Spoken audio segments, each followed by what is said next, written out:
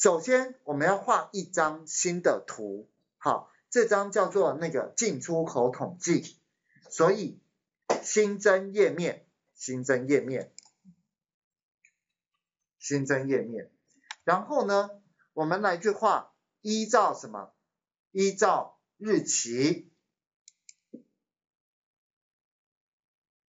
那在这个地方，请稍微注意一下，我刚刚跳过这边选择，我应该是先选群组直条图，选了群组直条图，然后它这个地方是不是就会自动帮我把这个 date 放到轴？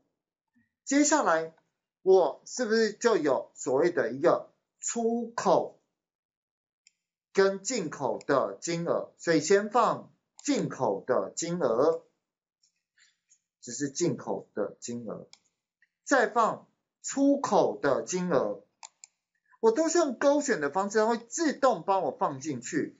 请问这代表什么意思？这个浅色代表进口，这个出口金额是深蓝色，对吧？所以。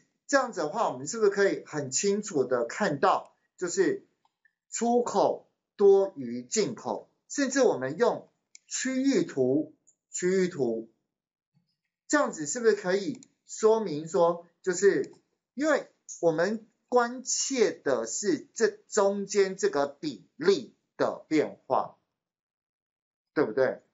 这个比例的变化才是我们关切的重点。可以吗？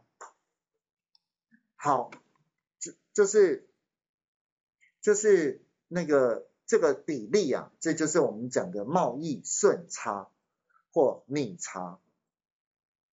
那做成这个样子才能画出这一张图哦。你要是不做成这个样子，你可以回家试着画画看，根本就画不出来。你不能说，哎，这里面的进口金额。我就直接勾进口的这个值，现在可以，现在可以是因为你有做关联，这样知道吗？因为有做关联，而且事实上我其实也就是在选进口里面的值跟出口里面的值，因为做了关联才可以。